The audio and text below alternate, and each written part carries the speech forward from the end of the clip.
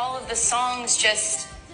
I don't know. They're my life and, and they're real. They're telling the real Even me singing about thick thighs, I'm like, they're still thick, even though I wrote it a couple years ago. Wait, you know what? I have to tell you, when I saw you at the uh, Country Music TV, or I tell I said, yes, latex. Oh, my- Over there, I said, because so much of your journey is also body positivity. It you know? And when I saw, I said, my girl is not changing for anybody, No. and